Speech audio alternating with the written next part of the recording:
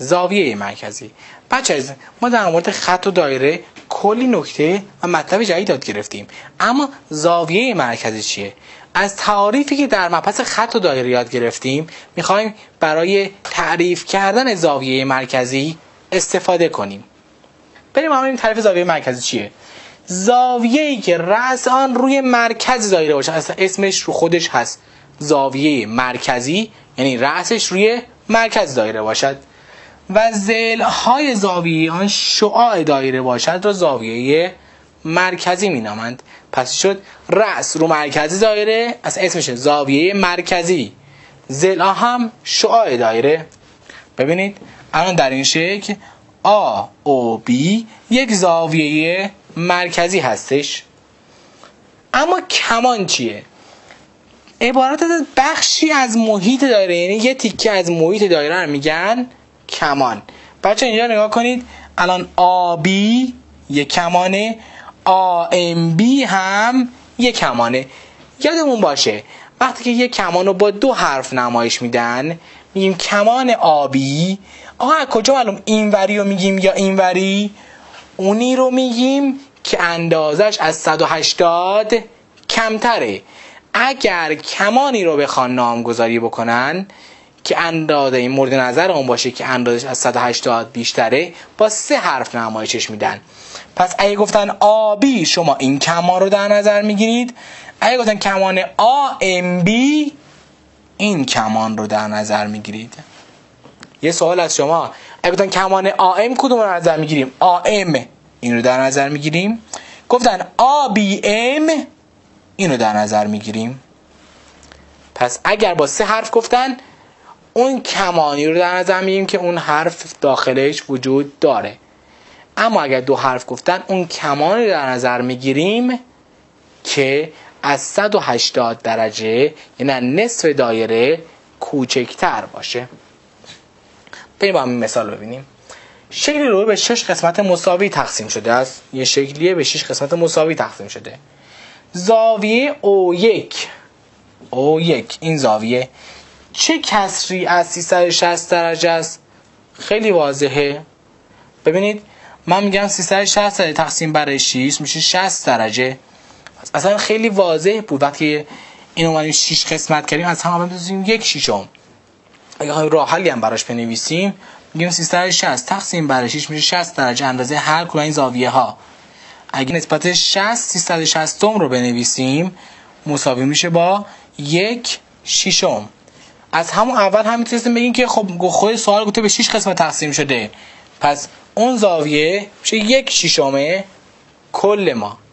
بریم قسمت بعدی سوال رو جواب بدیم. قسمت ب کمان روبرو به او یک.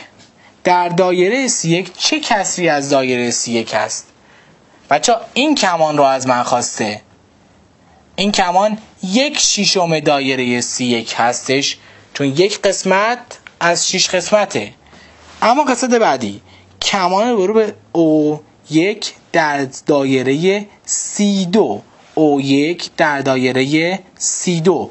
چه کسی از دایره سی دو هست؟ ببینید این دفعه گفته دایره سی دو. باز اینجا هم یک شیشم هستش. ببینیم اینجا هم یک شیشمه پس می‌تونم بگم این کمان یک شیشم سی یکه. این کمان یک شیشم سی دو هستش. به عبارتی اندازه این کمان رو می‌تونم بگم 60 درجه است. اندازه این کمان هم 60 درجه آقا طول این کمان ها که مساوی نیستن. بله حرف شما درسته. طول کمان ها مساوی نیست ولی اندازه کمان ها مساویه. اندازه هر دو کمان 60 درجه است ولی طول هر دو کمان به اندازه یک به اندازه دیگری نیست. و طول دو کمان کاملا با هم فرق داره. که نکته ای که بعدا می‌خوایم بگیم در همین زمین است. آیا این دو کس با هم مساوی اند؟ بله. ما فقط بگیم بله این دو, دو کس با هم مساوی اند. یعنی اندازه کمان در, زاوی... در دایره سی یک با اندازه کمان در دایره سی دو با هم مساویه. تا اینجا مشکل نیست. اما سوال بعدی آیا طول این دو کمان هم با هم مساویه؟ خیر. ما جلوتر جواب دادیم. طول این کمان در دایره سی یک با طول این کمان در دایره سی دو با هم مساوی نیست. چون طول کمان بستگی داره که شعاع دایره من چقدر باشه. تا اطلاعاتی از شعا نداشته باشیم نمی‌تونیم اطلاعاتی در مورد طول کمان بدیم. اما اندازه کمان به شعاع دایره و اندازه دایره ارتباطی نداره. اندازه کمان آبی برابر است با زاویه مرکزی روبرو به آن. بنابراین ممکن است دو کمان با اندازه های مساوی طول های متفاوتی داشته باشن. بچه ما همین نکته رو تو سوال قبلی با هم بررسی کردیم. گفتیم دو تا کمان داشتیم که جفتشون یک ششم هر دایره ای بودن. اندازه کمان ها برابر بود ولی طول هاشون برابر نبود. پس می‌تونیم به این صورت بگیم که برای به دست آوردن طول کمان آبی می‌تونیم از رابطه زیر استفاده کنیم. این رابطه چیه؟ گفتم به شعاع و محیط دایره ربط داره. پس به این صورت میگم طول کمان مساوی با محیط دایره ضرب در. اندازه کمان تقسیم بر 360 خب کمان قبلی من 60 درجه بود. تقسیم بر 360 میشه یک شیشم محیط دایره. چون زاویه دایره سی دو بزرگتر بود پس یک شیشمش هم بیشتر میشه. اگر دایره ها مساوی نباشه طول کمان ها مساوی نمیشه. خب بریم با هم مثال ببینیم. اندازه کمان و زاویه مجهول رو پیدا کنید. بچه در کنید نگفته طول کمان. اگر می‌گفت طول کمان به من باید شعاع رو می‌داد. گفته اندازه کمان. اینجا گفته این کمان 290 درجه است. پس می‌تونیم با هم این رو بگیریم. اندازه کمان عادی برابر است با کل دایره 360 درجه است دیگه. 360 درجه میشه 290 درجه که میشه چقدر؟ 70 درجه. نتیجه ای که می‌گیرم اندازه زاویه او من. اندازه زاویه او من یعنی AOD این زاویه برابر با همون x من که به عبارتی میشه 70 درجه. چون تو زاویه مرکزی اندازه زاویه مرکزی با کمان روبروش برابره. پس من میگم x با عادی برابره.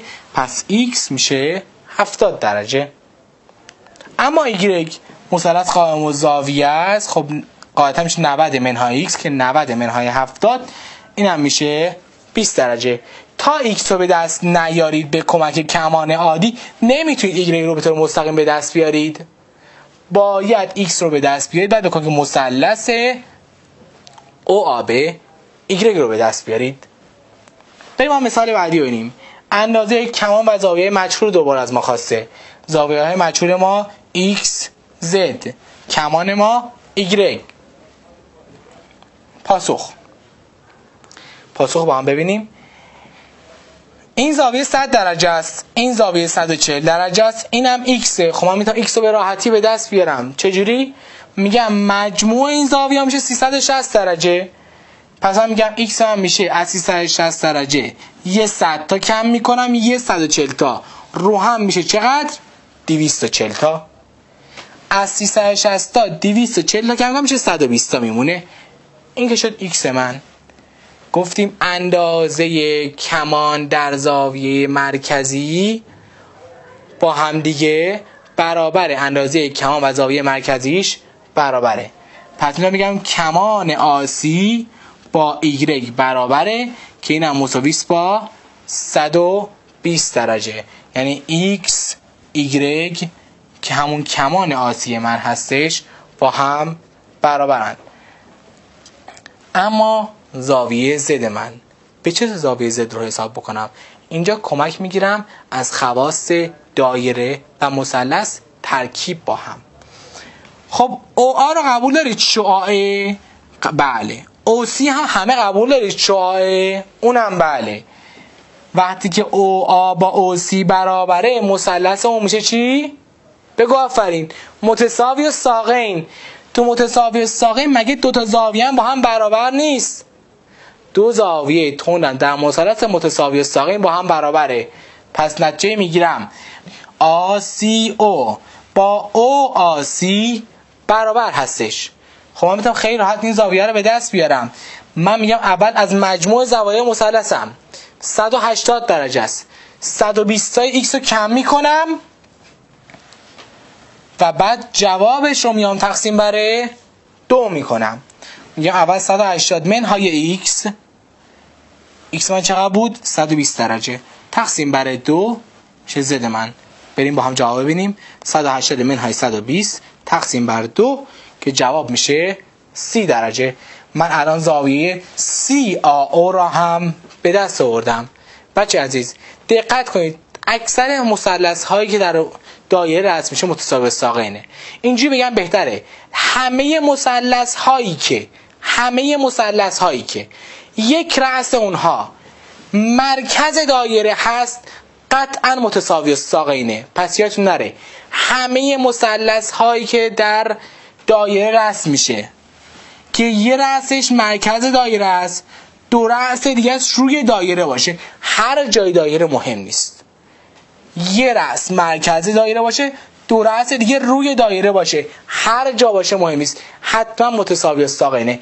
الان او آ سی متساوی ساقینه. او بی سی متساوی ساقینه. او آ بی متساوی ساقینه. تمام این مثلث ها متساوی و ساقین هستن. بریم ما مثال بعدی ببینیم. در شکل روبرو آبی قطع دایره است. اندازه زاویه بی رو از ما خواسته. جلوتر تو درس بعدی یاد می‌گیریم که این زاویه بی رو بهش میگن زاویه محاطی و می‌تونید این سوال رو بسیار ساده تر حل کنید بسیار ساده تر اما قبل از این درس یاد بگیریم می‌خوایم به کمک زاویه مرکزی این درس رو این سوال رو حل بکنیم و این مبحث رو تکرار کنیم با هم. بریم هم پاسخ رو ببینیم. بچه AOC یک زاویه مرکزیه. چون این زاویه مرکزی با کمان آسی برابره نتیجه ای که می‌گیرم اندازه زاویه AOC با کمان آسی برابره. خب حالا چه عجیه می‌گیریم؟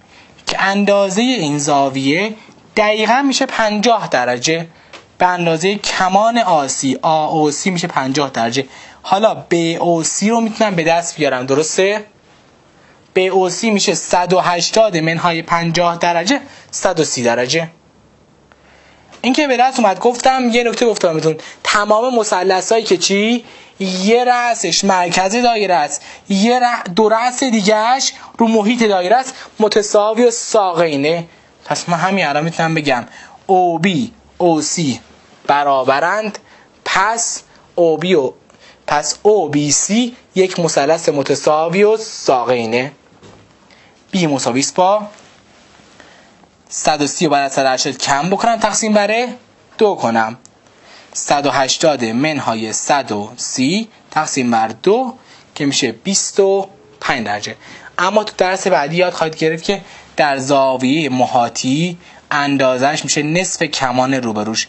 یعنی این 50 رو نصف می‌کنیم میشه 25 به همین راحتی می‌تونید 25 رو به دست بید اما این بر درس بعدیتونه بریم فعلا با هم مثال بعدی رو ببینیم. محیط دایره روبرو به 8 کمان مساوی تقسیم کردیم. می‌خواهیم بدانیم چرا 8 ضلعی A B C D E F G H منتظم است. نظر شما چرا؟ من برای اینکه می‌خوام ثابت کنم این 8 ضلعی 8 ضلعی منتظمه باید دو تا موضوع ثابت کنم. یک تمام ضلعهاش با هم برابره. دو تمام زاویه هاش با هم برابره. به عبارتی اگر ثابت کنم تمام این مثلث هم با هم برابره. هر دو موضوع با هم ثابت میشه. پس این با هم پاسخ رو ببینیم. ببینید توی این 8 ای تو هر مثلث دو زلش دقیقا شعاع دایره من هستش. و تمام زاویه ها هر کدوم یک هشتم محیط دایره هستن. خب یک هشتم محیط دایره یعنی یک هشتم برابر 360 درجه. یعنی یک هشتم 360 درجه.